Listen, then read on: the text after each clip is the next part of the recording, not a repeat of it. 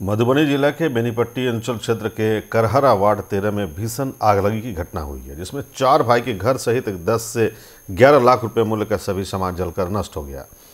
बताया जा रहा है कि रात करीब साढ़े ग्यारह बजे बिंदेश्वर यादव के घर में आग लगी, जहाँ देखते ही देखते अन्य तीन भाई, कामेश्वर यादव, नागेश्वर यादव व विजय यादव के घर को अपने आगोश में समा लिया। आगलगी की घटना में कामेश्वर यादव के चार घर जलकर नष्ट हो गए और वहीं एक मवेशी भी झुलस गया। साथ ही स्वयं बिंदेश्वर यादव भी झुलस गए। इनका करीब दो लाख का क्षति बताया जा रहा है। और आग लगी की शोर होने पर शोर शराबा होने पर आसपास के लोग जुटे और अग्निशमन विभाग डायल वन वन टू को सूचित करते हुए आग बुझाने में जुट गए। काफ़ी मशक्कत के बाद आग पर काबू पाया जा सका। एगो चचा कहै छै सर में छै जेल गेल। उनको स- स- छोटे सर सेहो जरि गेल छै।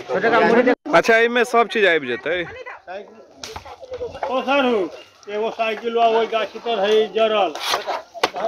आग लग गया लमसम ग्यारह बजे के करीब में रात में। ग्रामीणों के द्वारा आवाज़ हुआ तो हम लोग फुट करके आए जैसे तैसे। और यहाँ देखे ग्रामीण लोग से हम लोग से के थ्रू यहाँ इसको बुझाने की कार्रवाई की है। आग पर कितने काल के बाद काबू पाया गया?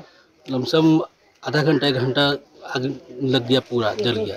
अच्छा ये जो पूरा क्षति है सिर्फ़ एक ही आदमी का है कि या कि और चार भाई का है चार चारों भाई भाई का का क्षति है। कितना चारों भाई को मिला करके क्षति हुआ? लमसम वही दस ग्यारह लाख के लमसम पूरा क्षति चारों भाई के मिला करके। सब कुछ जल गया? जी एक टू कपड़ा तक नहीं बचा।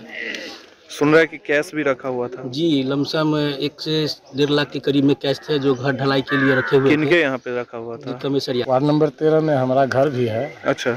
थोड़ा दूरी है। हम्म। कैसे पता चला कि आग रात साढ़े ग्यारह बजे ग्यारह बजे की कि यही समय था। हल्ला हल्ला हुआ आग लगा आग लगा रोशनी भी देखे बहुत दूर घर से दरवाजे पर आए तो। अरे भयंकर आग है कहीं लगा हुआ। आगे आए तो कहा कि भाई कमेसर बिंदेसर सबके घर में जैसे चारों भाई के घर में आग लगा हुआ। हाँ यहाँ आए तो सरपंच साहब हम दोनों आदमी साथ थे। हाँ। और दौड़ कर उधर जाते थे दौड़ कर उधर लेकिन भयंकर इतना आग का इतना प्रेशर था। हाँ फूस का मकान इतना बड़ा प्रेशर था जो किसी को यहाँ आने का हिम्मत नहीं हुआ। पचास फीट दूरी से हाँ, हम लोग हम हाँ, लोग पचास फीट दूरी से सौ फीट दूर